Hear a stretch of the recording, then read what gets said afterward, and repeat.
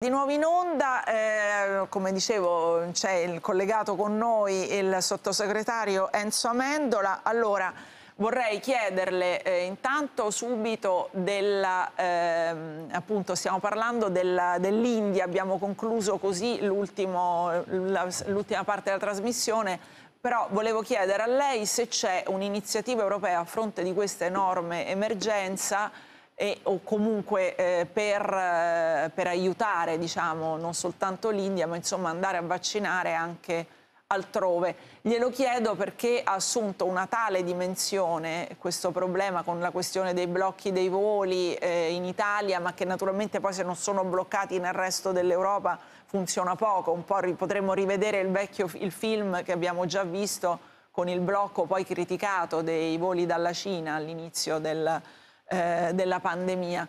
Le chiedo appunto se c'è un'iniziativa e qual è anche diciamo, la posizione dell'Italia.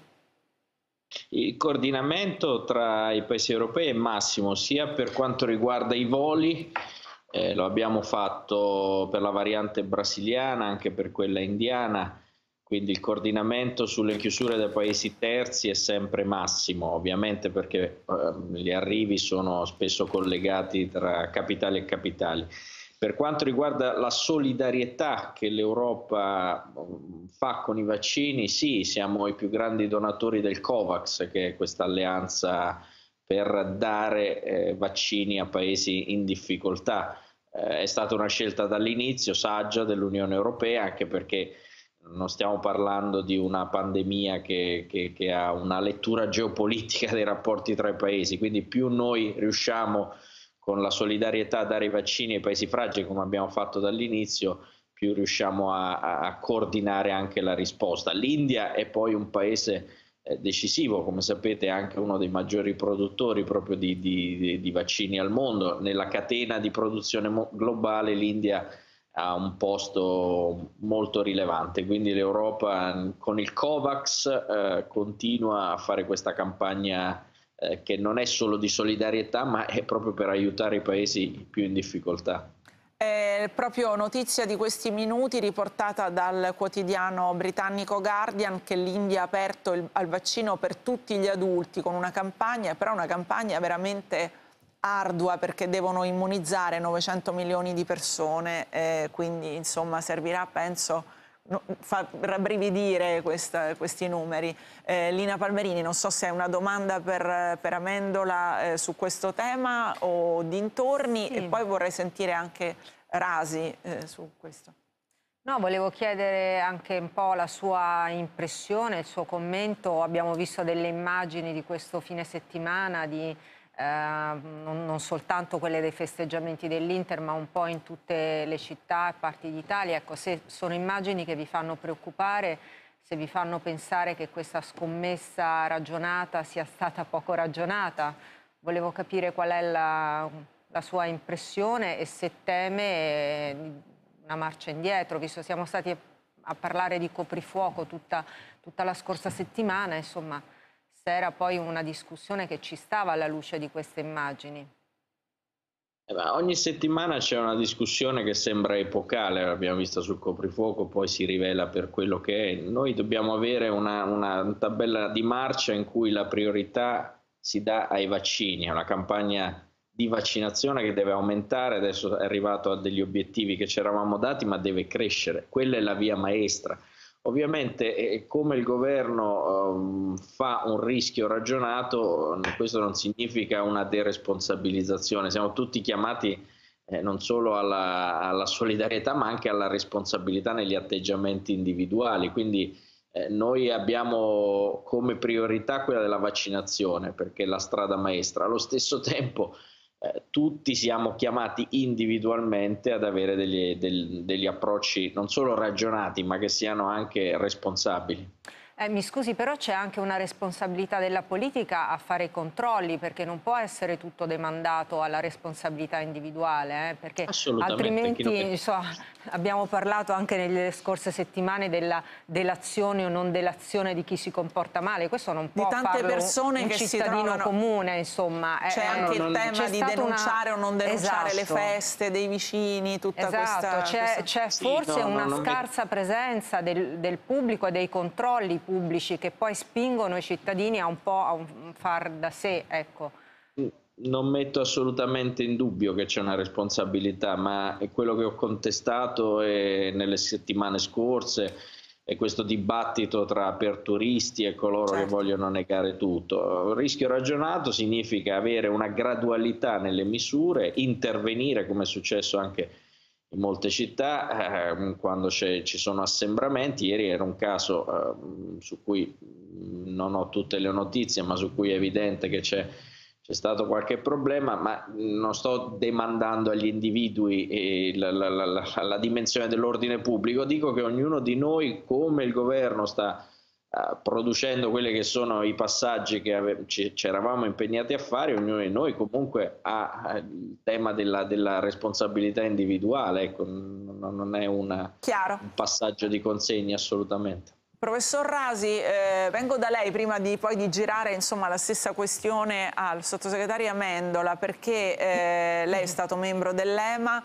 eh, quindi conosce anche i meccanismi europei, che ne pensa del contenzioso legale che alla fine l'Europa, la Commissione europea ha aperto nei confronti di AstraZeneca e in generale se eh, diciamo, la, la, gestione così europea dei vaccini ha superato le, le maggiori criticità.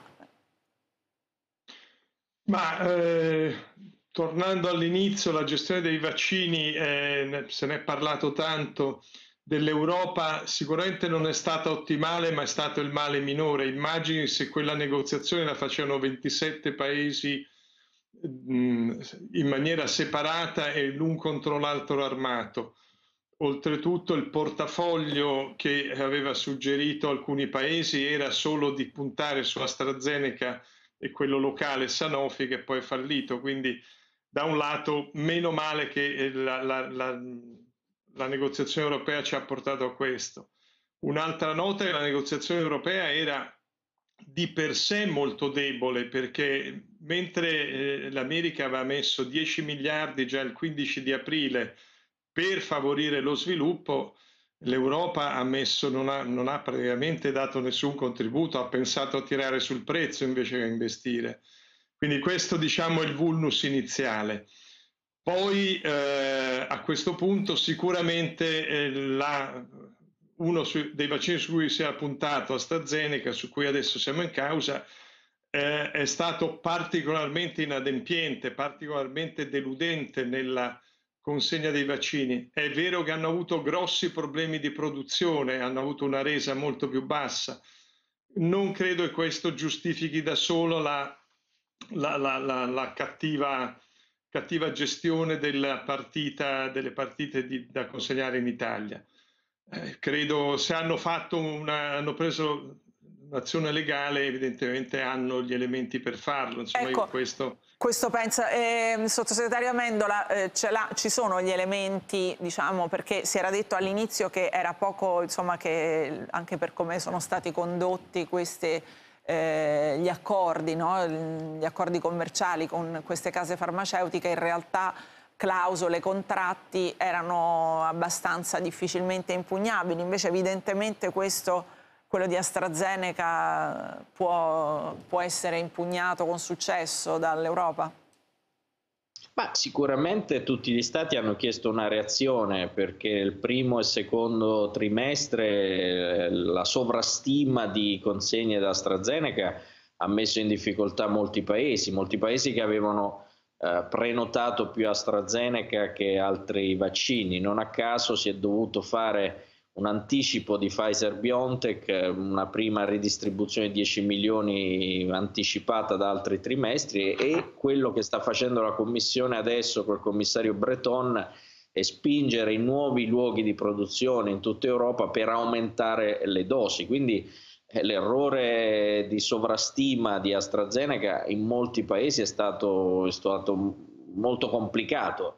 Le reazioni che abbiamo avuto dal, dall'Unione Europea sull'export, regole un po' più stringenti e sull'aumento di produzione ci, non dico fa essere ottimisti, ma ci mette in marcia per il secondo e terzo trimestre in una condizione migliore. È evidente però che, che questo è stato un problema, un, come diceva il professore, un errore che ha pesato sulla pianificazione.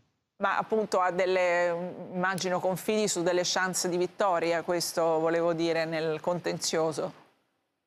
Ah, guardi, noi mm, c'è una, la direttrice della, della, direzione sanità è un'italiana molto brava che è stata anche accusata di cose, di polemiche mm, abbastanza astruse, invece è una delle professionisti migliori che abbiamo nella direzione appunto che guida la direzione sanità, lei è stata insieme agli stati membri artefici di tutti i negoziati, io credo che abbiano le carte in regola per, eh, per garantire quello che era un, un, un accordo firmato e sottoscritto mesi fa.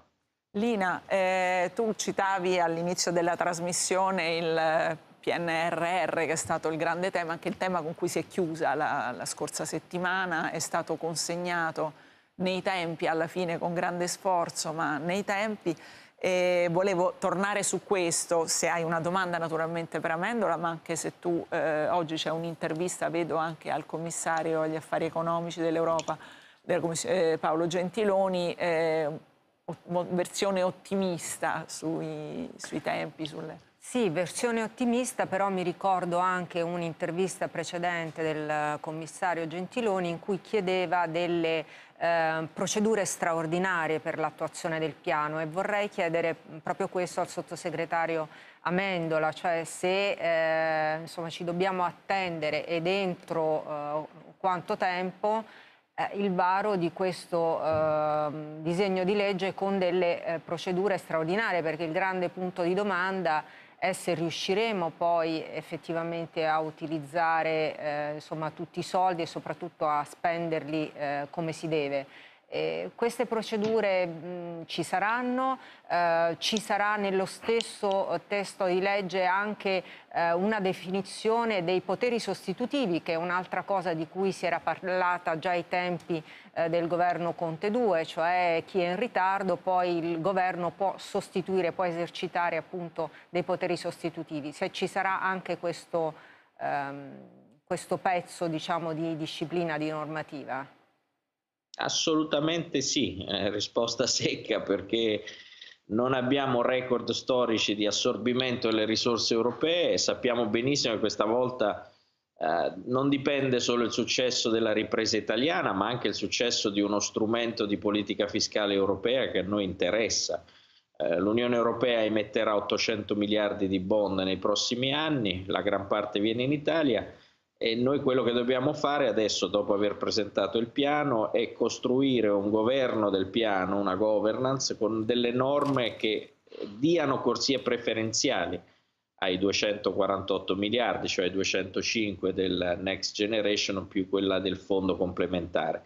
Si farà nei prossimi prossime settimane perché adesso la Commissione ha due mesi per eh, istruire il piano, poi c'è un altro mese dell'Ecofin, quindi in questo lasso di tempo che eh, ci, ci, ci, guida alla, proprio all'inizio del piano, eh, il governo dovrà fare norme particolari, speciali per utilizzare questi soldi con corsie preferenziali. Non è, un, eh, non è una sfida che possiamo, non, dobbiamo utilizzare tutte le armi a disposizione, quella che serve alla pubblica amministrazione è proprio una struttura, procedure, esecuzione che diano una transizione burocratica al nostro paese, non solo quella digitale, quella green, ma anche eh, rinvigorire la pubblica amministrazione con delle procedure che nel prossimo futuro diventeranno, io spero, anche ordinarie. Ecco. L'esperienza del Next Generation servirà a cambiare la pubblica amministrazione, secondo me, sia a livello centrale sia a livello delle pubbliche amministrazioni locali. Velocissimamente, ma cos'è che non ha funzionato sulla precedente legge sulle semplificazioni? Perché non è un debutto questo delle semplificazioni, già lo, lo scorso anno, più o meno in questo periodo, eh, il governo di cui lei faceva parte aveva fatto una legge sulle semplificazioni. Era stata fatta male? No, era un primo passaggio, adesso stiamo parlando di non semplificazioni solo nella pubblica amministrazione, stiamo parlando di come queste risorse hanno delle corsie preferenziali, quindi stiamo costruendo qualcosa di, di straordinario nella, nella, gestione delle risorse, eh, perché avremo bisogno di rispettare l'impegnativa per tutti i progetti al 2022 e la spesa finale al 2026, quindi ci sono lassi di tempo che sono predefiniti, non, non si può scherzare Grazie. su questo. Chiaro, senta, eh, avevamo parlato a proposito del PNRR, nella prima parte della trasmissione era tutta dedicata alla questione dei dossieraggi della, della magistratura che stanno così dilaniando la magistratura in questo momento.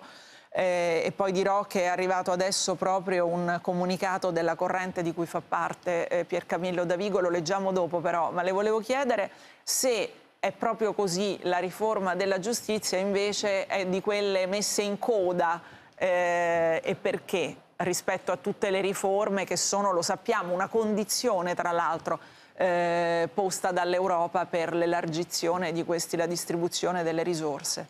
No, no, la, la, la, riforma e la giustizia è una delle raccomandazioni della Commissione, anzi insieme a pubblica amministrazione... Appunto, perché, riforma... perché nel calendario del governo è in coda? No, non è, c'è un calendario prefissato di obiettivi. I primi obiettivi sono la riduzione dei tempi del processo civile del 40% e quello penale, ma dentro una, un, un composito progetto di riforma. Ovvio che in Italia la giustizia non si riforma per decreto legge, ma quindi ci saranno tutti i procedimenti parlamentari conseguenti, ma mm, non è assolutamente, è una delle due priorità, eh, quelle sottolineate, insieme poi Sì, ma farete prima ci sarà la pubblica amministrazione, poi ci sarà il fisco per dire, no, poi ci sarà la concorrenza, no, il fisco è un binario diverso, poi la concorrenza ultima la giustizia? No, non c'è una... Non c'è quest'ordine. c'è una classifica, spartiranno ah, tutti insieme, dovranno Avevamo essere capito così. No. No. Allora, leggo, lo dicevo, il comunicato dell'autonomia eh, e indipendenza, la corrente di Piercamillo Davigo e Sebastiano Ardita, oggi poi Ferri Corti, i due, eh, che dice quali siano oggi le ragioni di un atto tanto illegale, dossieraggio, quanto vile e chi si è prestato a compierlo, siamo certi sarà chiarito. Stante la particolare delicatezza del momento chiediamo a tutte le istituzioni interessate di tenere altissimo il livello di attenzione e di attivarsi affinché, affinché, sulla vicenda venga fatta piena luce nel più breve tempo possibile e vengano perseguiti gli autori del, dell'ignobile sciacallaggio. L'ho letto perché è significativo, non tanto si chiede chiarezza e così, ma che venga proprio da da questa parte, no? eh, Lina Palmerini. Allora, eh, volevo ancora, abbiamo pochissimi minuti, però volevo fare una domanda a eh, Amendola eh, anche sul caso dell'altro caso del giorno di cui noi ci occuperemo più approfonditamente domani, ovvero la vicenda Fedez-Rai, eh, sottosegretario. Eh, perché insomma qui abbiamo ripreso il titolo del Corriere della Sera agita i partiti, la RAI sotto accusa. Lei che idea si è fatto? Anche lei pensa che sia stato un tentativo di censura esecrabile, che Fedez abbia detto quello che la politica non ha detto, che la RAI, come hanno detto eh, il segretario del PD Enrico Letta, lo stesso Conte, eh, eccetera, debba essere riformata e cambiata in vertici? Ecco, eh, che la RAI bisogna riformarla e riformare la governance oramai è, credo che sia, sia comune a tutti, poi nell'esecuzione pochi l'hanno messo in pratica. No, quello che dico è che la politica non ha fatto il suo mestiere, questo lo contesto perché Fedez sta parlando di, di, una, di una proposta di legge di un parlamentare del PD che è bloccato al Senato dopo essere approvato alla Camera, quindi non si può accusare i partiti di non fare una battaglia e Fedez fa una battaglia giustamente su una proposta di legge. Per quanto riguarda eh, quello che è successo in RAI, io credo che i vertici debbano chiarire, eh, c'è un'opinione pubblica che ovviamente guarda alla RAI e al servizio pubblico con rispetto e vuole avere rispetto di tutte quelle che sono le vicende eh, che Fedez ha fatto. Posso emergere. farle vedere un tweet di Carlo Calenda, se la regia lo può eh. mandare, che un po' polemico, se riusciamo a mandarlo, ma insomma... Sì, ma intanto cui... se posso Vai. dire velocemente eh, come eh, se, secondo... Ecco. Scusa un secondo Lina, sì, sì, soltanto se poi la domanda. Ha ragione Giuseppe Conte, questa RAI politicizzata, mannaggia come hanno fatto le nomine, saranno stati dei vulcaniani di passaggio in Italia, cioè eh, le dichiarazioni di Conte che era Presidente del Consiglio di due governi e che eh, insomma, i vertici li ha nominati lui e anche poi immagino insomma, anche tante nomine sono state, tante nomine interne sono condizionate dalle forze di certo. maggioranza certo. e dai governi, Amendola. Sì, no, questo è l'aspetto più, Carlo Calenda lo fa con una battuta, però eh, se vogliamo in questa stagione le riforme, anche riformare eh, finalmente il servizio pubblico dandogli una missione, anche cercando di, di, di elevare il, il, la qualità di, di, un lavoro fondamentale per il Paese, mi auguro che al di là delle polemiche del caso specifico si riesca a fare, però eh, nessuno... Sì, però il tema era se Conte, se Conte aveva, diciamo, eh, forse non aveva un po' come dire, esagerato nel prendere le distanze da qualcosa che, eh, insomma, che lo vede anche responsabile, no? Le ha scelti lui o no? Questa guarda, era la battuta di Calenda. Sì, no, ma infatti è una battuta che ci sta, ecco. Come ci sta. Dicevo. Sì, sì, no, ci sta anche per i partiti, perché poi alla fine conta il terminale di quello che decidono i partiti, incluso il partito del sottosegretario Amendola. No, l'unica cosa a concludere Beh, insomma, un peccato per voi politici, onorevole Amendola che, Amendola, che sia Fedez a dovervi incalzare su cose su cui dovreste prendere l'iniziativa eh, scusi, autonomamente. Fedez sta incalzando su una, una, proposta di legge un deputato del PD. Non sto parlando del DDL Zan, sto parlando della eh, riforma della RAI, perché eh, ah. diciamo, la polemica non è tanto sul fatto del, eh, sulla proposta di legge contro l'omofobia, la polemica è sulla censura della RAI e quindi sull'esigenza come lei stesso ha detto, di riformare la RAI. Cioè, secondo me è un po', un po questo il, il, tema, cioè di una forse debolezza, eh, ha messo un po' il dito nella piaga, di una debolezza appunto della, della politica che non è riuscita a riformare eh, la RAI, cui tutti i cittadini italiani sono eh, contribuenti, quindi insomma c'è una responsabilità aggiuntiva. Sì, no, ma io non, non credo che fosse questo l'obiettivo di Fedez. L'obiettivo di Fedez ovviamente era una battaglia sul DL ZAN. Quello che è all'ordine del giorno, come tutte le riforme che bisogna fare in questo paese, è, è, è modernizzare anche le strutture e la comunicazione, soprattutto quelle pubbliche che noi paghiamo con il canone, e non sono all'altezza di quella che... Però questo assetto è figlio, poi ne parleremo appunto, abbiamo proprio esaurito ah, il no, tempo, però va detto anche che questo assetto è figlio di una riforma che è già stata fatta nel 2015, è stata fatta anche a trazione Partito Democratico. Le chiedo se allora significa che non ha funzionato quella riforma, se già si riparla di ri-riformare la RAI.